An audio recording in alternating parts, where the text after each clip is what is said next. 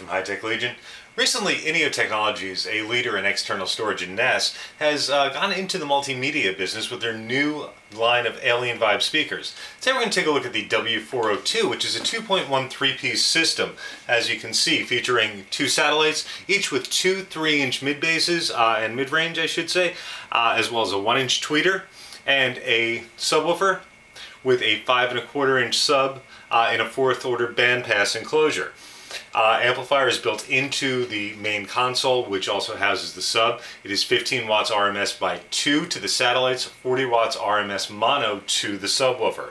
Um, also, as you see, you've got a ton of controls on the unit itself for volume, bass, treble, uh, as well as three separate inputs. You've got uh, two inputs which are selectable so you can use your computer, as well as another uh, external source such as a TV, MP3 player, uh, CD player, whatever you're looking to do. And also if you take a look, you've got a USB and SD card slot down here is a separate input with controls uh, to go back and forth through songs, play and pause, as well as uh, selectable EQ settings, which is only for the um, USB and SD card input. Taking a look at the satellites, we can see all wood enclosure, actually very nice. Uh, there's no connector in the back. Wire is hardwired in with an RCA connector, which is going to go into the amplifier. Plastic piano black finish on the front. As you can see, we've got two 3-inch drivers, as well as a 1-inch dome tweeter. It's a hard dome tweeter, so you're going to get uh, a little bit more bass extension than what you're used to. Typically in this price range, we're used to seeing either a 1.5 or 2-inch uh, mid-range mid-bass, and it's not going to be able to produce the mid-bass. That's where you wind up with either the hole between the uh, mid-range, the satellites, and the subwoofer, or you wind up with the subwoofer being crossed over way too high, um, which results in really boomy bass.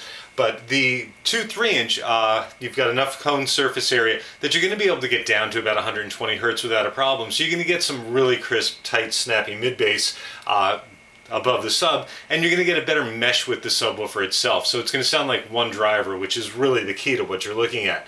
Now they are a bit larger than we're used to seeing also, so you're going to need some room on your desk as you can see. Um, but all in all, good looking satellite uh, and very nice design, especially I really like the 2 3 inch uh, in place of a 2.5 or I should say a 2 inch or a 1.5 inch. The subwoofer is housed in also the control panel which uh, also holds the amplifier and all your controls. Uh, going up top you've got an input selector, a mute button, volume up and down, um, menu button as well. Uh, the menu will walk you through the menu for bass and treble controls also. Um, going down, as I say, you've got your SD input. Also, you've got a visual display up in the front, which we'll take a look at in a few minutes. As I say, this is a fourth order bandpass enclosure, at least as far as we can tell from the outside. Uh, it's a so totally sealed enclosure with the tuned port on the side. I did find during testing that it does like to be corner loaded for best results, meaning you want to put it uh, in proximity to a wall, facing a wall in a corner. That's actually going to give you better reflected sound and a little bit more uh, oomph to the bass, shall we say.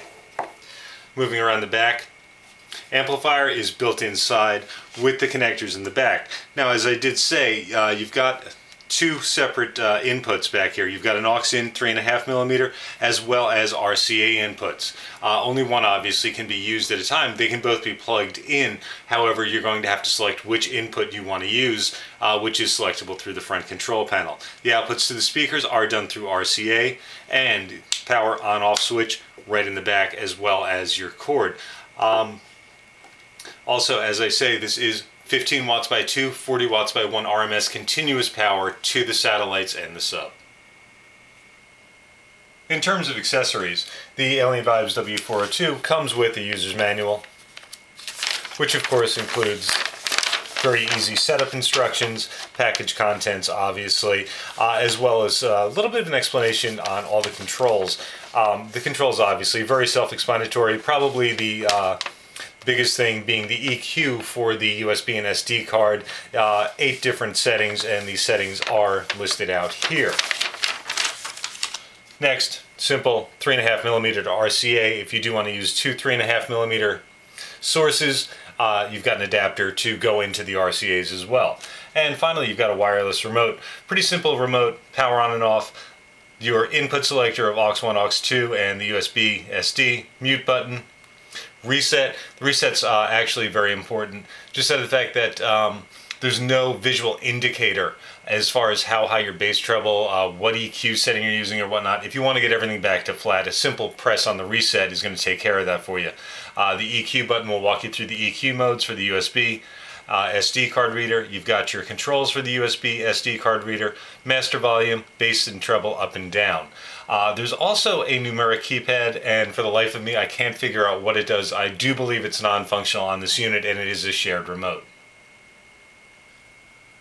Getting a look at the W402 all fired up.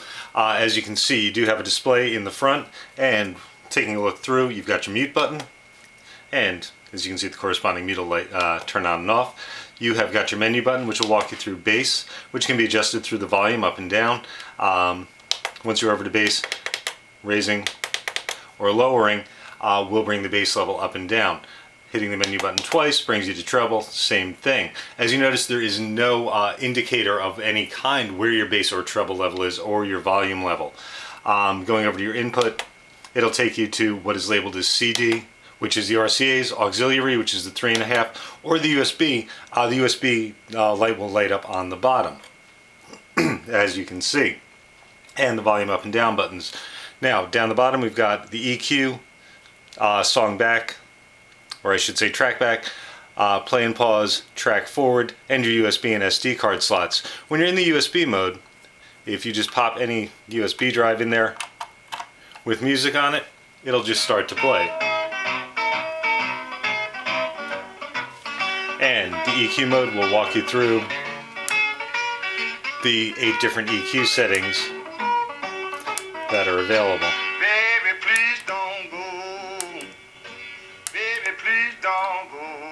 And your next track will bring you to the next track. Or back to the last. And play and pause. Very, very simple to operate, uh, but obviously very useful if you're going to have music on a USB or SD card. Uh, you can basically copy over anything from your computer and just pop it right into the front and have it good to go. Or if you know you're having company or whatnot and they're bringing music with them, you've basically got uh, a really good array of inputs uh, with the two rear inputs as well as the front USB SD card. The W402 is definitely a very interesting first gen piece from uh, Alien Vibes uh, and the makers at Ineotech. Um, got 15 by 2 plus 40 by 1 RMS continuous amp, as well as two satellites with two 3 inch drivers, as well as one tweeter in each. Uh, that is a 1 inch dome tweeter, 5 and a quarter inch subwoofer in a bandpass enclosure, three separate selectable inputs, uh, and the great, as we saw, USB and SD card input. Really a very, very nice offering from Alien Vibes.